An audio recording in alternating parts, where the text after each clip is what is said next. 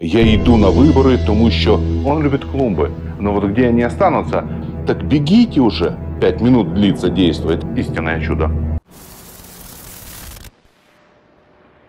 Привет, это я, Андрей Богданович, это мой погляд. Каждую неделю я просматриваю кировоградский интернет и комментирую то, что мне понравилось или не понравилось. Это мое личное мнение, и это дисклеймер. Степан Цапюк показал своего преемника. Кто он или кто она? Кузьменко объединяет Александрию. Кто идет по спискам в областной совет и зачем это все надо?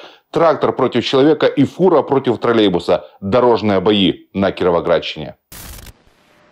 И так свершилось. Цапюк уходит. Да ладно! Уже и преемника приготовил. Об этом в Александрии, я так понимаю, штаб Цапюка снял целое кино. Короткометражку на 5 минут.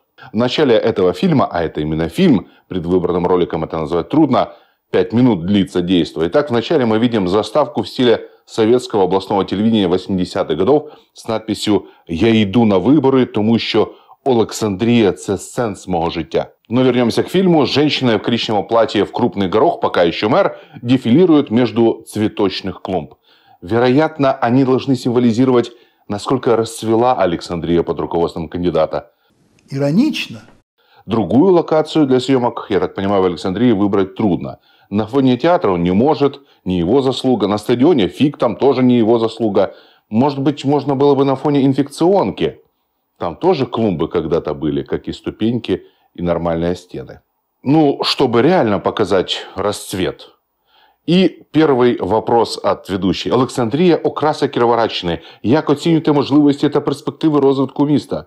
Вопрос от женщины с горохом Цапику выглядит вопросом на уроке. И Степан Кириллович показывает, мол, я учил. Но ответ настолько банальный, что Цапюк просто капитан очевидность. Так, дійсно, Олександрія одне з кращих міст Кіровоградщини. Лондон из... Ну, Лондон. Лондон. Это...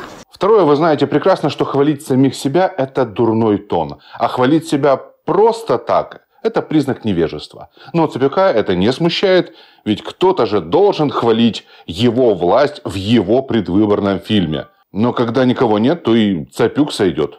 Сьогодні краще досвід Олександрії переймають інші міста України, адже вона сучасна, комфортна для життя. Обратим внимание на следующий вопрос к Цапюку. Якщо взяти до уваги останні 5 років вашої роботи, коротко розкажіть, що вдалося зробити. А почему только 5 лет? Почему не за все там 15-20? И интересно, что же сделано? Ми реалізували ряд проєктів і програм, які дозволили оновити інфраструктуру міста, об'єкти благоустрою, збагатити матеріально-технічну базу бюджетних закладів, забезпечити соціальну підтримку олександрійців. И я не понял, а что конкретно? Что конкретно сделано? Цапюк ничего не назвал. Это и не удивительно, Цапюку нечего назвать. Збагатити материальный стан бюджетных закладів – это Цапюк разваленную инфекционку имеет в виду. И заметьте, как он об этом говорит. Да никак. Он читает эти строки. Это еще одна причина, почему не веришь Цапюку. Он не искренний, а зритель это четко видит и не доверяет. Но вернемся к фильму «Интервью в кустах».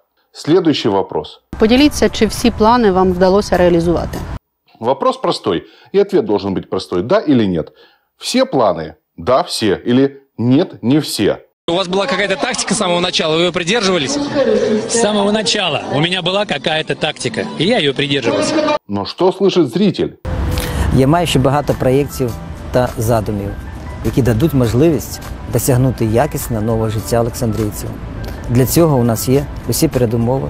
Я бачу, як за рахунок міського бюджету підтримати малий та середній бізнес і допомогти створити нові робочі місця. Допомогти створити нові робочі місця. Какие рабочие места, когда при Цапике предприятия Александрии их как раз сокращали постоянно эти рабочие места? И, кстати, вы услышали ответ на вопрос, все планы осуществили или нет? Да или нет? Цапюк так и не ответил. Он прочитал с бумажки лозунг, но на вопрос не ответил, потому что не знает ответа, потому что не было никаких планов для города. А вот для себя у него, конечно же, были. Слушаем дальше. У зв'язку з тим, що ми не можемо впливати на приватний бізнес, Стоп.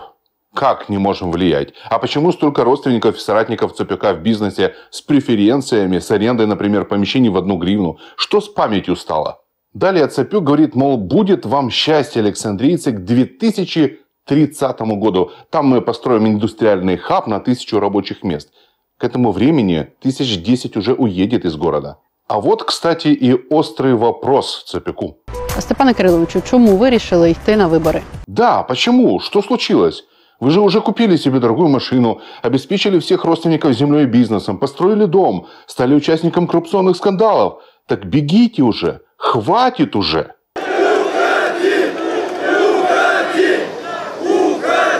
И тут Цапюк продолжил вести себя искусственно. Читал текст откуда-то со стороны, эти странные жесты. І враховуючи нестабільну ситуацію в державі, я вирішив йти на вибори. Это же вылитый Чарли Чаплин. Ey, der Fluten sagt der Fleppen! En Tomenia wie ein Strapf! En der Blitzen sagt der Klütz! Ey, ich bleiner Strapf! И, как полагается, пародии на диктатора, а Цапюка сложно назвать диктатором, а вот пародии на него можно, так вот Цапюк представил своего преемника. Що йду на останню каденцію і за цей час підготую достойну кандидатуру на посаду міського голови. Цапюк сейчас серьезно? На словах о преемнике показывают женщину в том самом платье в горох. Это и есть преемник, то есть преемница Цапюка. На посаду міського голови. Потом Цапюк и дальше пошел в разнос. Какому-то Сергею он говорит, ни, мол, власть и бизнес несовместимы в Александрии. Как же несовместимы, когда Цапюк живое воплощение того, что совместимы, и еще выгодно для себя самого же. В конце своего спича Цапюк вдруг рассказал о своей мечте. Настав час вибору. Подальший розвиток чи крок назад. Но тут Цапюк прямо наконец-то адекватно заговорил. Выбор между будущим и прошлым в Александрии. Но дело в том, что Цапюк уже как раз есть прошлое. У мене є незавершена мрія зробити Олександрію зірцевим містом Кіровоградщини. Четыре каденции у него не было такой мечты, а тут вдруг внезапно появилась. Прозрел старик. В общем, предвыборное видео Цапюка в кустах женщины – это было эпично. Я так особо и не понял, что это было. Ну, а пока, пока еще мэр Александрии снимает сам себя в комедии, в Александрии политический феномен. Вокруг кандидата в мэра Александрии Сергея Кузьменко объединились все партии, кроме ОПЗЖ. Кузьменко поддержали «Слуга народа», «Европейская солидарность», «Батьковщина», «Пропозиция» и «Сила и честь». То есть получается 5-1. Мало того, Кузьменко поддержал мэр Крапивницкого Андрей Райкович. Родину Кузьменків знаю давно і добре. Професіонали, гарні господарі створили сучасну, потужну українську аграрну кампанію. І це не просто доглянута земля, а сучасне виробництво, тисячі робочих місць, міцна соціальна політика на всіх територіях.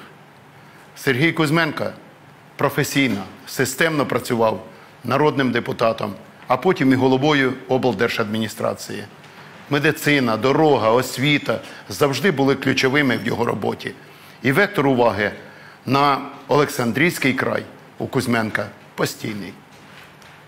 Спробувати себе на посаді очільника міста Олександрії це амбітне рішення Сергія Анатолійовича. Але він має успішний досвід менеджера, мислить стратегічно, сучасно, розуміє вагому роль місцевого самоврядування в житті територій. Боротьба буде нелегкою. І партійний голос пропозиції теж додасть йому прихильників. До речі, Олександрійський футбол знає вже Європа, а це добрий знак успіхів і перемог. В общем, плохи дела у пока еще мэра Александрии Степана Цупика. Голосов только про российской партии ОПЗЖ ему явно не хватит, когда вся Александрия объединяется вокруг Кузьменко.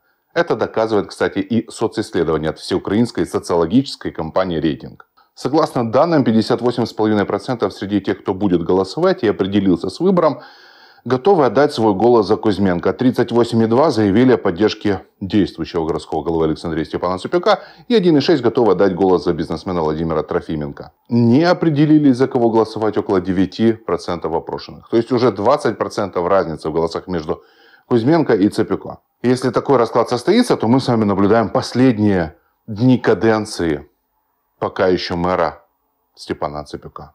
20% это количество, которое практически не отыгрывается. И мне кажется, что следует ожидать уже распад команды Цепюка, потому что бесперспективность в политике никому не нужна. Ну, а почти Бывшие соратники ЦПК всегда любят договариваться, тем более уже с будущей властью. Тем более, когда в сети появляются фотографии роскошного отдыха семьи Цепюка. В группе «Александрия онлайн» от пользователя Валентины Лобко появилась информация, как отдыхал в Эмиратах сын Степана Цепюка Максим. По ее информации, отдыхал он в отеле «Пальма Джумейра», где номер начинается по стоимости от 100 тысяч гривен. Валентина акцентирует внимание, что, мол, вот что бывает, когда папа мэр Александрии 4 срока подряд.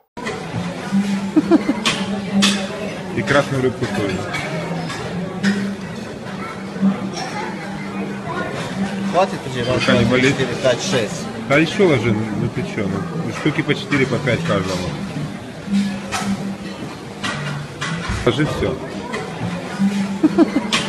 Ну и Валентина советует Александрийцам смотреть видео обеда с креветками под бутерброды с майонезом и мивину. Меня это видео не удивляет, расследований по поводу Цепюка и так много. Дорогущий автомобиль, огромный дом, вырубка леса ради дома родственников. Все это привычные для мэра Александрии дела. Цепюк давно фигурирует в коррупционных скандалах, так что креветки сына в Эмиратах – это так, вишенка на коррупционном тортике пока еще мэра Александрии. Кто идет в Кировоградскую областную раду? Вместе со списками в горсоветы появились и списки кандидатов, которые хотят порулить областью. И знаете, во многих случаях они были похожи. Одни и те же люди. Ну а давайте посмотрим, кто же там в списках знакомый. Батьковщина. Список в облсовет очень представительный, сразу скажу. Понятно, что первым идет нынешний глава облсовета Черноиваненко. В десятке Андрей Табачук, аспирант педунивера. Наталья Ревенко, это начальник областного управления лесного хозяйства. Анна Суркова, директор Центра детского и юношеского творчества. Лариса Андреева, главврач областной больницы. Виталий Журавлев, бывший кандидат от Батьковщины в нардепы на протяжении нескольких лет. И десятка настолько представительная у Батьковщины, что даже Валерий Кальченко в нее не попал. Его, кстати, место 11 Дальше среди интересных личностей в Батьковщине в списке есть Людмила Шубина, это директор Пешмаша, Анатолий Коротков, Роман Моцный, сын бывшего главы Кировоградской облгосадминистрации, Наталья Агапеева, директорка областной филармонии, Людмила Салаид, Андрей Перевозник. В общем, Батьковщина сумела, так сказать, накачать политические мышцы, что ли. У политсилы традиционно хорошая поддержка в области, поэтому многие из этого списка явно проходные. Оппозиционная платформа «За жизнь». Все, что есть у бывших регионалов, они ставят на Сергея Ларина. Он первый в списке ОПЗЖ на выборах в облсовет. И это такая политтехнология, потому что ну, не останется Ларин в облсовете, не променяет он кресло народного депутата на работу в Кировоградской области. Но вот, несомненно, роль локомотива для своей партии он исполнит. Первой пятерке Вадим Волканов, Людмила Давыденко, Анна Нижникова. Причем и Волканов, и Нижникова идут еще и в горсовет. Но вот где они останутся, ну, скорее всего, таки в облсовете. Это шаг вперед по сравнению с городским советом. В списке у бывших регионалов я еще выделю Юрия Любовича, Виктора Серпокрылова, зама Цепюка Людмила Сосну, Геннадия Лоцмана и Александра Цепюка. Следующая партия – это партия пенсионеров Украины. Здесь список, который во многом отвечает самому названию. Там много пенсионеров. Но список практически повторяет тот, который партия заявила в Горсовет. Видимо, надежда пенсионеров пройти хоть куда-то маленькая, но она есть. Среди известных имен там Сергей Яковенко, Анатолий Перевозник, Равиль Аглеулин, Елена Надутенко, Юрий Михалевский. Радикалы Ляшка. Первым номером бывший народный депутат Дмитрий Ленько, второй заместитель ЦПК Сергей Гриценко, дальше безработная Марина Осипова и Рубен Санасарян. Пятый номер в списке тоже безработная, кстати, Евгения Николаева. Почему так, что в первой пятерке сразу двое безработных, да еще и женщины безработные, не понимаю. Партия «Пропозиция». Если кто ожидал тут увидеть Андрея Райковича на первом месте, то нет. Марина Смоглюк, начальник юротдела Крапивницкого горисполкома, ведет партию в облсовет.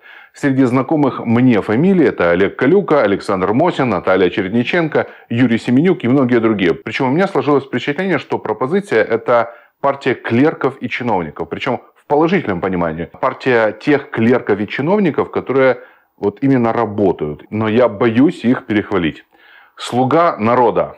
Областной список возглавил Сергей Шульга. Второй Игорь Волков. Ему явно уже надоел горсовет, он там депутатом довольно долго.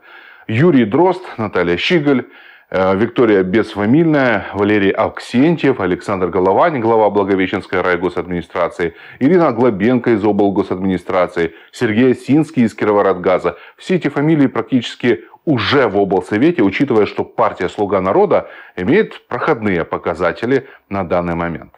Но опять же, «Слуга народа» – та партия, где очень часто повторяются фамилии, что в город, что в область. За Майбутнее, партия Коломойского. Первым номером идет Александр Горбунов. Есть социальная прослойка в виде медиков и учителей, например, директор Знаменской бальнеологической больницы Владимир Джулай. Есть Алла Жавнир, директор Новомиргородской школы. Есть Андрей Лисота, директор областного туристического центра. А есть даже и блогер – Александрийский блогер Виктор Голобородько, который постоянно критикует Степана Цепяка. Он под номером 44, не близкий номер к проходному, но может по внутрипартийному рейтингу он выстрелит. Наш край, областной список – это смесь старых кадров партии регионов, скандально известных личностей прошлых каденций в Горсовете, ну и других осколков от других партий. Среди известных имен и фамилий тут Андрей и Сергей Табаловы, Сергей Хильченко, Валерий Шутка, Сергей Недилько, Николай Корецкий. В общем, все известные личности. Европейская солидарность возглавил список в областной совет Сергей Коваленко, директор департамента предоставления административных услуг Крапивницкого городского совета – очень длинная должность, конечно же. Это бывший заместитель главы Кировоградской облгосадминистрации Сергей Кузьменко. Второй номер – первый зам главы облсовета Юрий Гугленко. Есть в пятерке и директор мощного предприятия «Украгроком» Павел Фисюк, телеведущая Анастасия Мосатенко, Наталья Клименко, секретарь Знаменского горсовета, историк Юрий Митрофаненко, журналист и ветеран АТО Алексей Гора, но список добротный. И еще одна партия идет в облсовет, это перспектива места. Ее возглавил лично Артем Стрижаков. В отличие, заметьте, от его конкурента в борьбе за мэрское кресло Андрея Райковича, он таки рассматривает вариант попадания не в мэрское кресло, а в депутатское. Второй номер – это Игорь Гербиченко, финдир Кировоградгаза, Анатолий Рацул, декан педуниверситета, Рафаэль Санасарян. Я не знаю, какая перспектива у перспективы МИСТа, на выборах в областную раду, но наблюдать за попыткой молодой партии будет интересно. Вот такая областная рада. Многие из тех, кто идет в разных партиях, уже были и работали в одной. Это было время партии регионов. Но за это время, за 8 лет, много воды утекло, и мировоззрение многих, как и обстоятельства, изменились. Я начинаю сомневаться, знают ли кировоградские водители правила дорожного движения. Первый случай, который мне позволил усомниться в знаниях водителей, это ДТП в Крапивницком, когда фура врезалась в троллейбус.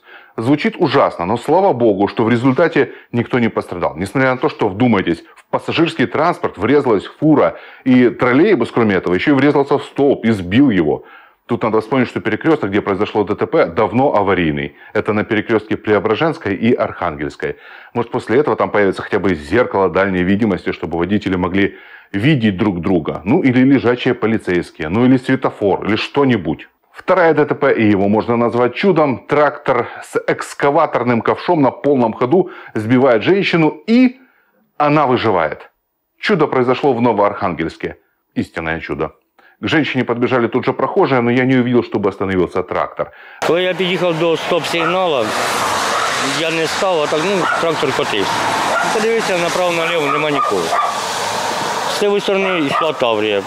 Я глянув, нема пішоходу. То я собі повертав. Стріла закрила обзор. Саме він, стверджує Михайло, викликав на місце поліцію, готовий відповісти за скоєне. На этом все. Лайкайте, комментируйте. И помните, все изменяется на краще. Особенно шансы Степана Цепяка найти себе новую работу. Он любит клумбы. Вполне возможно, что из него получится хороший садовник на пенсии. Пока.